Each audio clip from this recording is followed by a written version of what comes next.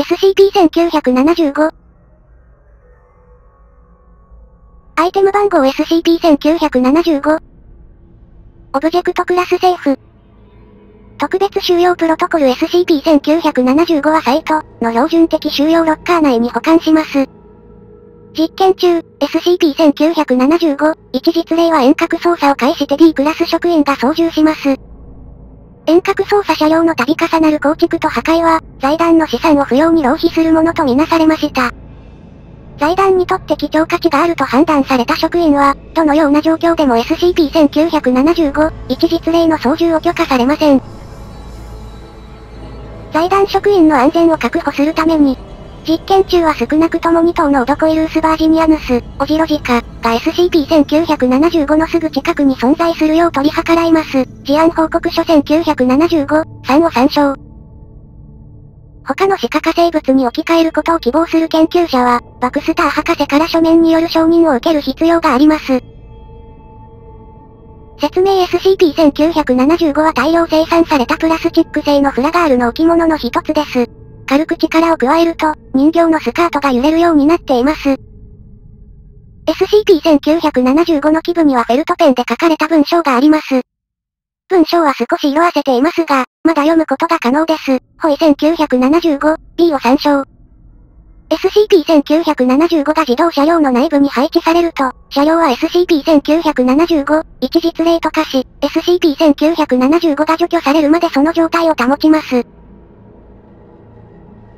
SCP-1975、1の異常効果は、車両が一定速度に達した時点で発現します。これらの効果は、自動車事故を引き起こすために発生しているように思われます。効果の致死性は車両の速度に正比例しており、速いスピードを出すほどに死の可能性が増加します。SCP-1975、一実例が破壊されると、SCP-1975 は残骸から消失し、事故現場に最も近い自動車両の内部に再出現します。実験中に SCP-1975、一実例内部に設置されたビデオカメラは、様々な程度に破壊された SCP-1975 がひび割れ、焼かれ、領有していくのを捉えています。しかしながら、SCP-1975 は常に破損していない状態で再出現し、事故現場では破片が見つかっていません。SCP-1975 を意図的に破損した場合も同じく、観察されていない間に未知の手段で自己再生します。ホイ1975、A 以下は SCP-1975、1の異常効果と、それが引き起こされた速度です。速度、効果、時速 90km、車内に機能するラジオがある場合、最大音量でオンになる。ラジオはこれ以上の異常効果を発現せず、通常はオフにすることが可能。時速 100km、ハンドルの動作が不規則になり、時折一人で2回転する。ハンドルの動作パターンは、飲酒運転者のそれを模倣しているように思われる。